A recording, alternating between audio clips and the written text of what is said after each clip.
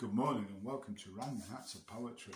I like this poem because I'm breaking all my own rules this morning. This is take four. Um, tongue twisting rhymes are not necessarily the best way. The poem's called Dissonance, it's a little bit shorter.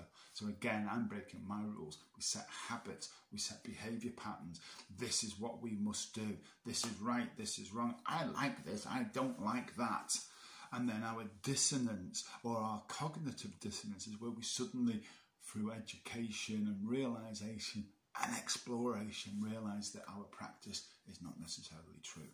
That we suddenly realise that the pain in our knees is being caused by something that we've believed is good for us, or that our lifting technique isn't quite right, that we're not as clever at lifting as we are, that my fidgeting in my seat is not my desire for movement, but the fact that I've not been able to master my own understanding of discomfort and disease.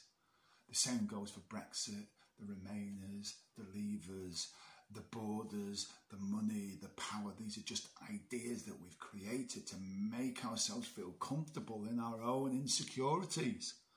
And how do we break this? Because you know what?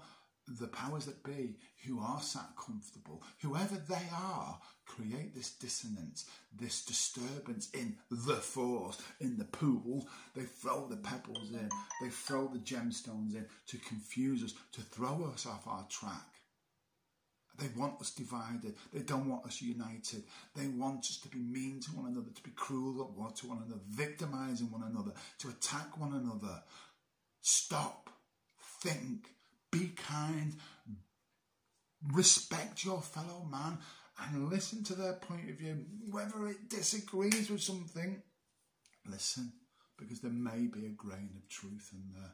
And that seed can become something that's great and can spread and grow into a canopy that shades us all from the glaring light of others' dispassion.